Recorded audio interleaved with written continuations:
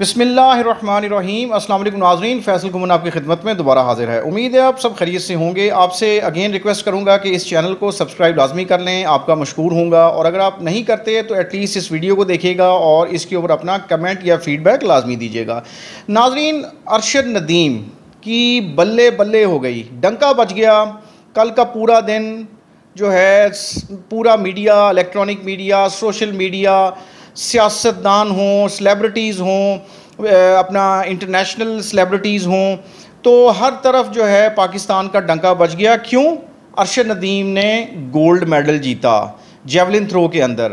اور میاں چنو کے قریب ایک گاؤں کا رہائشی کس طرح جو ہے اپنی محنت کر کے جو ہے یہ اپنا اس مقام پر پہنچا کہ اس نے پاکستان کا سر فخر سے بلند کر دیا۔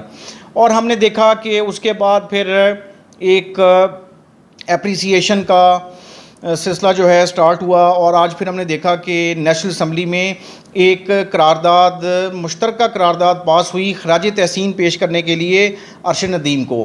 اور اس کے ساتھ ساتھ پھر ہم نے دیکھا کہ ہر طرف سے جو ہے مبارکبادوں کا سلسلہ، وہ انڈیا کی سلیبریٹیز ہوں سپورٹس کی ہوں کرکٹ کی ہوں، یا مطلب دیگر جو ہیں لوگ، ان کی طرف سے بھی اپنا اپریسیشن کا اور مبارکبادوں کا سلسلہ ابھی تک ناظرین جاری ہے۔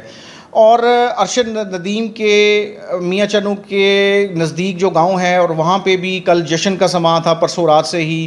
اور میڈیا نے جو ہے، والدین کو کور کیا ارشد ندیم کے اور انہوں نے اپنا جو ہے، اس کے اوپر جو ہے لوگوں سے مبارکباد ریسیو کی۔ پھر ہم نے دیکھا کہ جیولن تھرو میں سلور میڈل جیتنے والے نیرج چوپڑا جو ہیں انڈیا کے، جو کہ دو ہزار بیس کے اولمپکس میں گولڈ میڈلسٹ تھے، ان کی والدہ نے بھی اپنا جو ہے ارشد ندیم کے حوالے سے نیک خواہشات کا اظہار کیا اور انہوں نے کہا جی یہ میرا بیٹا ہے۔ اسی طرح ارشد ندیم کی جو والدہ ہیں، انہوں نے نیرج چوپڑا کے والے سے بڑی اچھی بات کی کہ جی وہ میرے بیٹوں کی طرح ہے۔ تو ناظرین، بات یہ ہے کہ ایک گولڈ میڈل، واحد گولڈ میڈل پیرس اولمپکس میں ارشد ندیم جو ہے وہ لے کے آیا ہے۔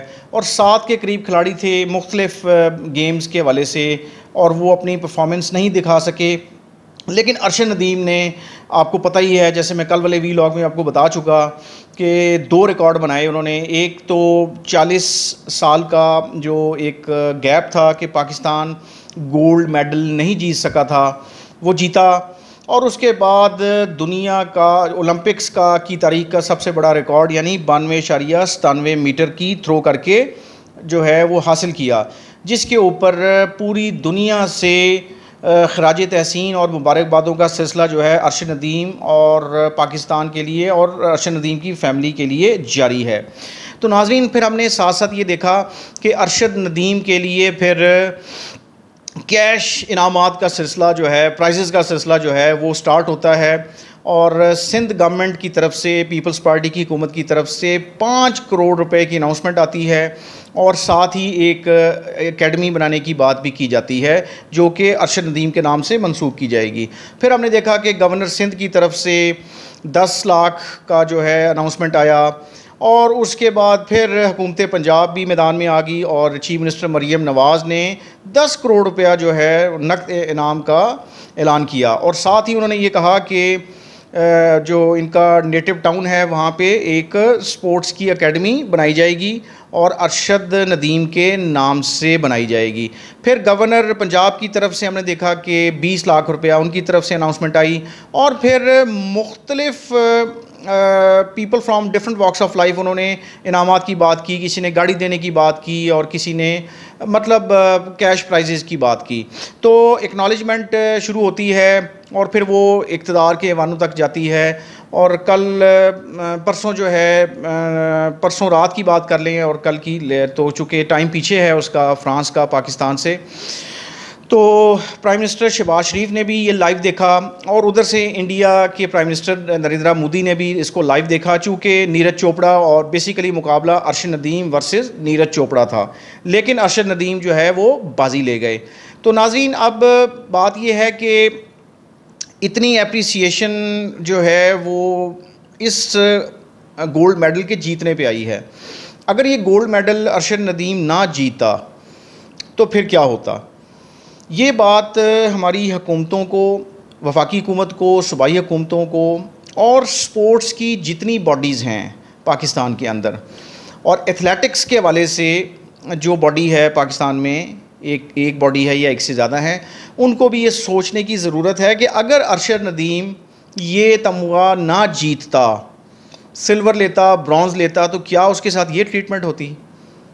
جو اب اچانک ایک خوشی پاکستانی قوم کو مل گئی اور میں بڑا حیران تھا کہ پاکستانیوں کے لیے ویسے تو خوشیاں ہیں نہیں، لیکن کوئی اس طرح کی اچانک ایک خوشی آ جائے تو پھر اس کے اوپر ہم بہت جسے کہتے ہیں نا جی سر آسمان سر پہ اٹھا لیتے ہیں۔ تو اور ایک بناوٹ بناوٹ بھی نظر آتی ہے سم ٹائم۔ بناوٹ اس لیے نظر آتی ہے کہ آپ اولمپکس جیسی ایک ایونٹ کے لیے جو ورلڈ ایونٹ ہوتا ہے، جس میں پوری دنیا بھرپور طریقے سے حصہ لیتی ہے اور ان کے کھلاڑی اپنی اپنی گیمز کے اندر پراپر تربیت اور ٹریننگ لے کے آتے ہیں اور وہ ملک اور ان کے ان ملکوں کی باڈیز وہ ٹریننگ دیتی ہیں۔ پاکستان میں ایسا کیوں نہیں ہوتا؟ آپ انڈیا میں نیرج چوپڑا کی جو ٹریننگ ہے، اس کا جو اپنا کمپیریزن پاکستان سے کر لیں، تو یہ بندہ ارشد ندیم جو ہے کئی سال وہ جو سٹک ہوتی ہے جیولن سٹک جو اس نے استعمال کی، وہ بیچاری اپنا استعمال کرتا رہا، وہ ڈیمیج بھی ہوئی۔ اور پھر کوئی تربیت، کوئی ٹریننگ کوئی پلیس ایسی نہیں تھی جہاں پہ یہ اپنا جیولن تھرو کے لیے جو ہے کوئی سازگار ماحول ہوتا۔ لیکن اس کے باوجود ارشد ندیم نے اپنی محنت کر کے اور ڈٹرمنیشن کے ساتھ جو ہے اپنی جگہ بنائی۔ اور پیچھے بھی پچھلے سالوں میں بھی کچھ مقابلوں میں حصہ لیا۔ اور آج اور پھر پرسوں رات آپ نے دیکھا کہ جو ہے تاریخ رقم کر دی ارشد ندیم نے۔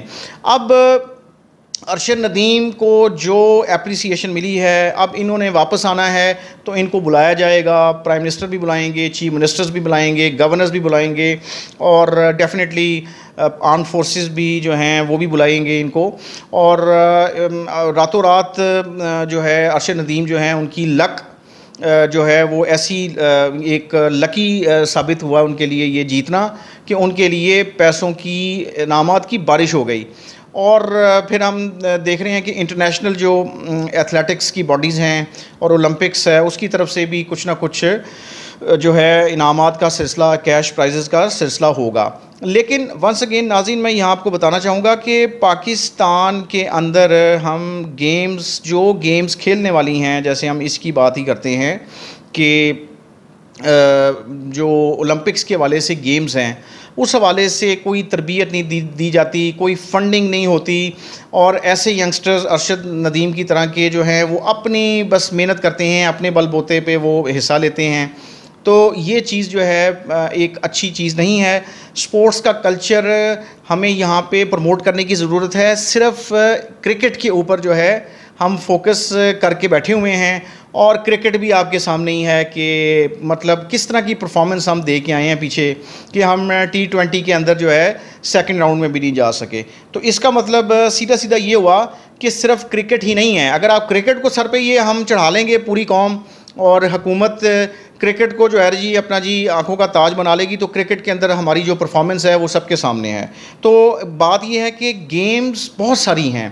فٹ بال ہے ہاکی ہے پھر یہ اپنا ایروبکس ہیں، پھر اس کے علاوہ مطلب مختلف ریسلنگ ہے، مختلف مقابلے ہیں۔ اس کے اندر پاکستانی جو ہیں وہ کھیلنا چاہتے ہیں، اپنا اوپر آنا چاہتے ہیں۔ تو ان کے لیے جو ہے، جب تک حکومت ریسورسز جو ہیں وہ نہیں دے گی پراپر پلیسز جو ہیں وہ نہیں بنائے گی جمنیزیمز نہیں بنائے گی، تو اس وقت تک آپ پاکستان کو اولمپکس میں ایک ہائی لیول پہ نہیں لے جا سکتے۔ پھر اس طرح ہی ہے کہ اکا دکا آپ گولڈ میڈل جیت لیں۔ ارشد ندیم نے گولڈ میڈل جیتنے کے بعد سوشل میڈیا پر جو بیان جاری کیا، اس میں انہوں نے لکھا کہ سب سے پہلے تو وہ اس کامیابی پر اللہ کا شکر ادا کرتے ہیں اور اس کے بعد والدین اور پوری قوم کی دعائیں ان کے ساتھ تھیں۔ پھر انہوں نے بالخصوص اپنے جو کوچ ہیں، سلمان اقبال بٹ، ان کی انتھک محنت اور ڈاکٹر علی شیر باجوہ کی حمایت جو ہے نا، اس کے اوپر انہوں نے ان کو اپنا خراج تحسین پیش کیا کہ ان کی ایفرٹس کے باعث جو ہے وہ یہاں تک پہنچے۔ اور پھر اشر ندیم کا یہ بھی کہنا تھا کہ یہ گولڈ میڈل ان کی طرف سے پورے قوم کے لیے یوم آزادی کا تحفہ ہے۔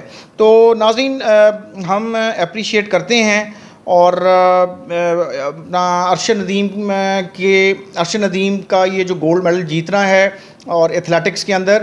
اور یہ چیز جو ہے، اب باقی جو ینگ جنریشن میں یوتھ لڑکے، لڑکیاں سپورٹس کے اندر اپنی ایفرٹس کر رہے ہیں۔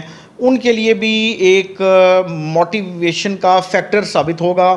اور ہم امید کرتے ہیں کہ پاکستان سپورٹس بورڈ ہو، پنجاب سپورٹس بورڈ ہو، یا کھیل، کھیلوں کے والے سے مختلف جو باڈیاں ہیں، وہ اب یہ جو گیمز ہوتی ہیں اگلے آنے والے جو اس کے اپنا اولمپکس کے جو مقابلے ہوں گے، چار سال بعد، اس کی تیاریاں ابھی سے شروع کر دیں گے۔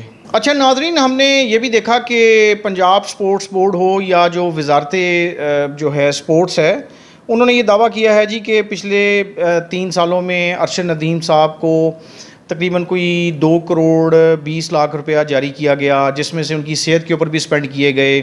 اور اس کے علاوہ کچھ پیچھے سلور میڈل جیتنے پہ ان کو پیسے دیے گئے۔ لیکن ہمیں اکثر جو ہے یہ سننے میں ملتا ہے کہ جب بھی کوئی کیش پرائزز کی اناؤنسمنٹ ہوتی ہے کھلاڑیوں کے لیے، تو اس کے بعد وہ بیچارے جو ہیں جی چیکس جو ہے نا، وہ لے کے بیچارے پھرتے رہتے ہیں، لیکن ان کو پیمنٹس نہیں ہوتی۔ تو ایک تو یہ جو کلچر ہے یہ ختم ہونا چاہیے پاکستان کے اندر کہ اگر کسی بھی حکومت نے اپنا اناؤنسمنٹ کر دی ہے اور جسے پوائنٹ سکورنگ کر دی ہے تو پھر اس کے اوپر پریکٹیکلی بھی اترے۔ اب دیکھنا یہ ہے کہ ارشد ندیم جو ہیں، اتنا زیادہ ان کو جو ایک لوگوں نے اپریشیٹ کیا ہے اور ان کا قد بڑا ہے اور سیاستدانوں سے لے کے عام آدمی تک سب جو ہیں وہ پورا دن ارشد ندیم کے اوپر بات کرتے ہوئے نظر آئے۔ کیا یہ ارشد ندیم جو ہیں اب اتنے ریکارڈز جو انہوں نے بنا دیے ان کے ساتھ اب یہ آگے کیسے چلیں گے؟ اور آگے جو آنے والے مختلف ایتھلیٹکس کے جو کمپٹیشنز ہیں، مقابلے ہیں، ان میں کیسے اترتے ہیں؟ آگے اور باقی لوگوں کو کیسے موٹیویٹ کریں گے ایتھلیٹکس کے اندر؟ اور دیکھنا یہ ہوگا کہ اب ان کی جو ایک ردم ہے اور ایک جو ان کی موٹیویشن اور ایک گولز ہیں کہ فردر جو ہے اس میں تھرو میں کوئی اور ریکارڈ بنانا ہے اور اس کے علاوہ پاکستان میں اس طرح کی سپورٹس میں جو حصہ لینے والے لڑکے، لڑکیاں ہیں، ان کو کیسے آگے لے کے چلنا ہے؟ کیا ان کو لیڈ کرنا ہے؟ یا ان کو کسی اور طریقے سے سپورٹ دینا ہے؟ یہ اب آنے والا ٹائم بتائے گا۔ تھینک یو جی اللہ حافظ۔